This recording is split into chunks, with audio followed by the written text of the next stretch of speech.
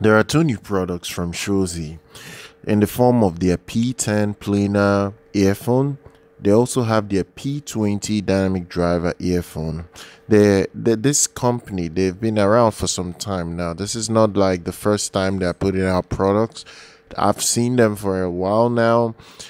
They're not very consistent. That's one thing I would say, but they do make high-end in-ear monitor. Now, these two earphones don't cost too much. They are not crazy expensive. The P10 is a wonderfully designed in-ear monitor in the sense that it looks very pretty. It like it has a very very uh, beautiful sh uh, shell that it's coming with. It's priced at one hundred and ten dollars. Now this P10 adopts a specially developed driver configuration. It comes with a dynamic driver. Um, it, it comes with a dynamic driver in here as well as a planar magnetic driver here. So this is a dual driver setup. Shozy says that they brought the best of both worlds. They brought uh, the low distortion and wide staging of a planar magnetic driver and they've paired it up with the stronger dynamics and higher sensitivity of a dynamic driver. That's what they have done to get the best out of this setup. The drivers work flawlessly and the combination works perfectly in presenting a cohesive and amazing sound performance. Shozy has also developed the P10 with a new dampening structure uh, you also have a pair of three asymmetrical vents that maintain the air pressure inside the driver cavity, allowing the drivers to breathe properly as well as produce a very impressive sound performance.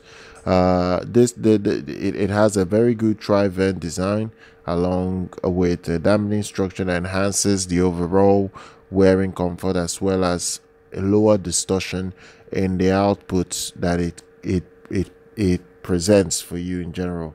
The Shozy P10 has very strong transient and that's what they've worked on with this model it does come in at $110 and then if we step up to the P20. The P20 comes with a 14.5 millimeter large dynamic, dynamic driver. Now, this thing is a beast in terms of what they've made it to do. This thing can hit hard.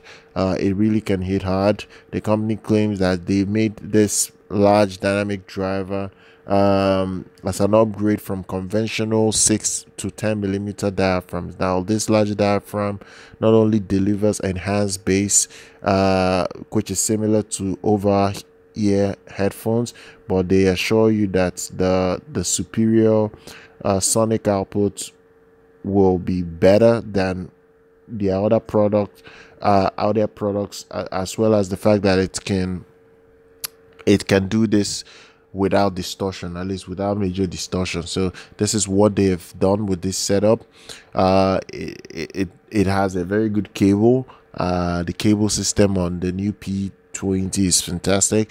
It's a uh, the the the the connector is a 0.7 millimeter 2 pin connector.